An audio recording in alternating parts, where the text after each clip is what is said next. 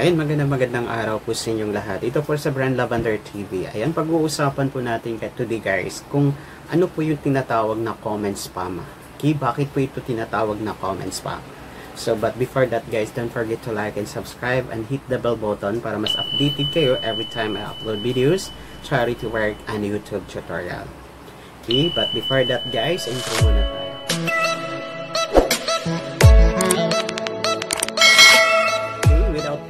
Ado, magsisimula na po tayo guys. What is comment spam? But before that guys, we need to uh, read the meaning of comment spam in YouTube. Okay, anything you put in YouTube can be considered as spam. Okay, included including comments. So that's it means lahat po ng makikita nating mga bakas, uh, mga comments sa mga video natin consider as a spam.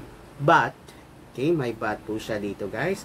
Nakalagay, if a comment contributes nothing to the conversation regarding a video. We need to explain that word guys. If a comment contributes nothing to the conversation regarding a video. So does it means nothing regarding. Okay, nothing to the conversation regarding the video. So does it means ang pinag-uusapan dito is ang video. So, comment spam. Nothing. Hindi po siya connected or not related to the video you have watched. So, yun po ang comment spam. But honestly guys, comment spam is makikita po natin siya sa spam and deceptive policy. Okay, what is spam and deceptive policy? Ito po yung mga pali uh, ito po yung mga ginagawa ng mga YouTube creator like me before nung hindi ko po nabasa itong spam and deceptive policy under sa community guidelines sa YouTube. Hindi ko po alam itong lahat na na-deceive na pala ako sa mali pong paniniwala o sa mali pong daan na tinatahak ko being a vlogger. Okay? Ang comment spam po ay makikita po natin dito sa spam and deceptive policy. Okay? Ang spam deceptive policy, pag nilabag mo po lahat itong nakalagay dito sa spam deceptive policy, your channel will be terminated or your channel will be uh, what we call that receive a strike. Okay? So, pag nilabag mo ito. Okay, what is comment spam? And now we are going to direct to talk about what is comment spam. A comment spam it is, okay, it is a sentence or it is a composing of words na kino-comments or binakas sa tawag natin. Okay? Binakas or kinomments sa mga video. So, tinatawag siyang spam if hindi po siya related sa videong iyong pinapanood. Halimbawa, tamsak idol. What does it mean? It is connected the video that you have watched. If you could see Tamsak Idol. I am here to support you. It is uh, connected to the video that you have watched. Diba natin?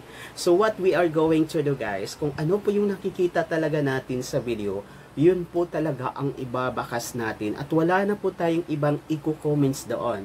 Kundi kung anong nakikita natin sa video na gustuhan man natin siya o hindi, yun po ang ating i- susulat sa comment section. Wala pong iba, hindi po yung here to support you, her idol.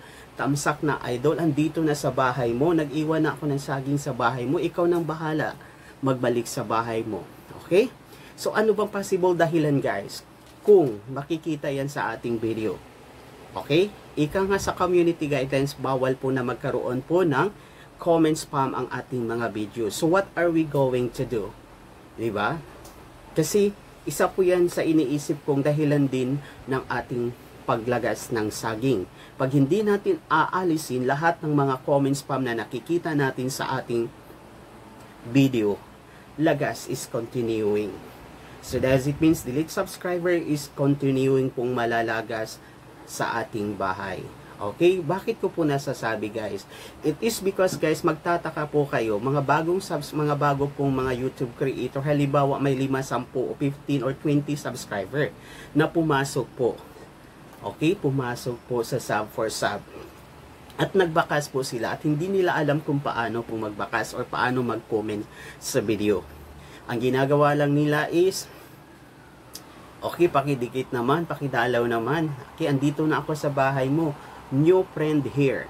Okay? Yun usually ang mga sinusulat ng mga baguhan.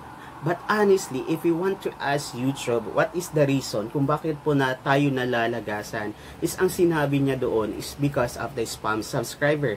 But if you are going to go deeply, what is the meaning of spam subscriber? Ang, ang meaning po dyan is mga inactive subscriber. But we are going to talk what is inactive subscriber or inactive channel in YouTube ang mga inactive channel within 6 months po, hindi po siya nag-a-upload ng videos, hindi po siya nanonood ng mga videos sa YouTube, at hindi po siya nagsisit in sa YouTube channel. So, yun po ang mga inactive. But ang pinagtataka mo guys, yung mga bagong salta, yung bago po pumasok talaga sa YouTube, maging isang YouTuber. Halimbawa po ako, pumasok ako ngayon, dinangisda ako bakit po magtataka ka kinabukasan nalalagasan po sila? Ano pong dahilan? Ano pong possible na dahilan? Bakit nalalagasan? At sinabi lang ni YouTube, the reason behind on it, kung bakit po tayo nalalagasan, it is because of spam subscriber. If we are going to uh, analyze that spam subscriber deeply, the meaning is inactive subscriber. So yun, yun, yun lang daw ang inaalis sa bahay mo. At bakit nalalagasan yon? So does it means yung kung uh, lahat na nag-subscribe sa mga bagong YouTube creator, masasabi natin inactive yun? Halimbawa, ngayon lang ako nagsimula, kinabukasan lagasan ako ng sampo, masasabi natin inactive lahat yung dumikit sa kanya within that day na hindi pa nakaabot ng ilang araw o hindi pa nakaabot ng isang buwan. So does it means hindi po talaga yun lang ang dahilan kung bakit po tayo nalalagasan. And according to my experiment or according to my observation, ang unang dahilan dyan is ang comment spam. Okay? Yung nagbabakas po tayo or nagko-comments po tayo, nagbibigay po tayo ng mga komento which is not related to the video that you have watched. Okay? So yun po talaga ang dahilan guys if you are going to analyze kasi makikita po talaga natin sa community guidelines under sa spam and deceptive policy in what is comment spam. And in pinagbabawal talaga ni YouTube ang comment spam which is guys basahin niyo po ito. Okay? Makikita po natin dito sa spam and deceptive policy under po to sa community guidelines ni YouTube. So, hindi po ito hindi ko po ito gawa-gawa lang at hindi ko po ito sabi-sabi lang. If you want clearly or more uh, about this issue, about the comments spam, try to search in Google Chrome. Just type spam and deceptive policy in YouTube. Automatic, outright, makikita mo siya. At mababasa mo pa siya. Okay? So, pag once mababasa mo at makikita mo talaga doon lahat guys, ang talaga pong ipinagbabawal ni YouTube. At makikita mo doon ang sub for sub which is under sa uh, incentivization spam. At what is sub for sub? Matagal na po tayo. So, uh, what we call this, uh, what we call this is sub for sub. It does it mean offering another creator to subscriber channel at pinagbabawal po yan siya makikita natin doon. So, isa po din yan sa dahilan kung bakit po tayo nalalagasan, guys. So, does it means dapat nating alamin maigi, guys, ang community guideline, which is mostly, uh, most especially yung spam and deceptive policy, kasi yun po talaga ang ipinagbabawal ni YouTube.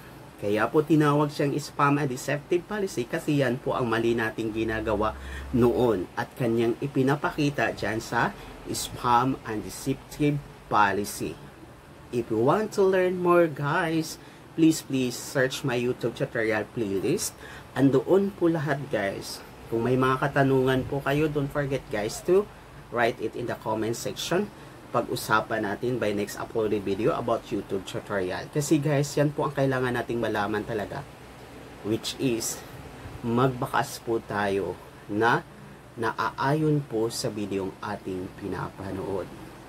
Okay? Kasi kung nagbabakas po tayo or nagbibigay po tayo ng mga komento which is not related to the video you have watched, palong-palo pa rin yan siya. Because sinuway po natin kung ano ang nakalagay sa community guidelines. At hindi po ito, uh, hindi po ako sa nagmamagaling at hindi rin ako sinasabing magaling ako.